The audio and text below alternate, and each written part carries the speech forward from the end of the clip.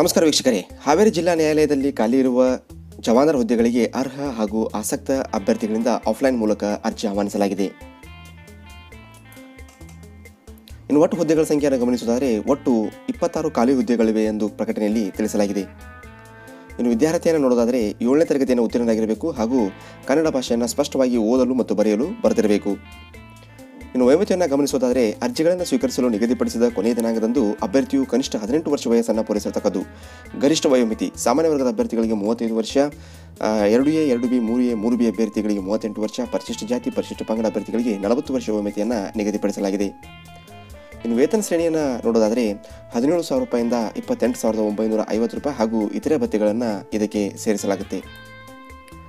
ಇನ್ನು ಪ್ರಮುಖ ದಿನಾಂಕಗಳನ್ನು ಗಮನಿಸೋದಾದರೆ ಅರ್ಜಿ ಸಲ್ಲಿಸಲು ಕೊನೆಯ ದಿನಾಂಕ ಹದಿನೈದು ಎರಡು ಎರಡು ಸಾವಿರದ ಹತ್ತೊಂಬತ್ತು. ಸ್ನೇಹಿತರೆ ಗಮನ ಇರಲಿ ಈ ಒಂದು ಅರ್ಜಿಯನ್ನು ಆಫ್ಲೈನ್ ಮೂಲಕ, ಅಂದರೆ ಅರ್ಜಿಯನ್ನು ಡೌನ್ಲೋಡ್ ಮಾಡಿಕೊಂಡು ಸಂಪೂರ್ಣವಾಗಿ ಭರ್ತಿ ಮಾಡಿ ಅದನ್ನು ಪೋಸ್ಟ್ ಮಾಡಬೇಕು. ತಾವು ಹದಿನೈದು ಎರಡು ಎರಡು ಸಾವಿರದ ಹತ್ತೊಂಬತ್ತರ ಒಳಗಾಗಿ ಆ ಒಂದು ಅರ್ಜಿಯನ್ನು ಪೋಸ್ಟ್ ಮಾಡಬೇಕು ಅಂತ ಅಂತಕ್ಕಂಥದ್ದು ತಾವು ಗಮನಿಸಬೇಕು. ಇನ್ನು ಆಯ್ಕೆ ವಿಧಾನವನ್ನು ಗಮನಿಸೋದಾದರೆ ಏಳನೇ ತರಗತಿಯಲ್ಲಿ ಪಡೆದ ಅಂಕಗಳ ಆಧಾರದಲ್ಲಿ ಸಂದರ್ಶನವನ್ನು ನಡೆಸಿ ಆಯ್ಕೆ ಪಟ್ಟಿಯನ್ನು ಪ್ರಕಟಿಸಲಾಗುತ್ತೆ.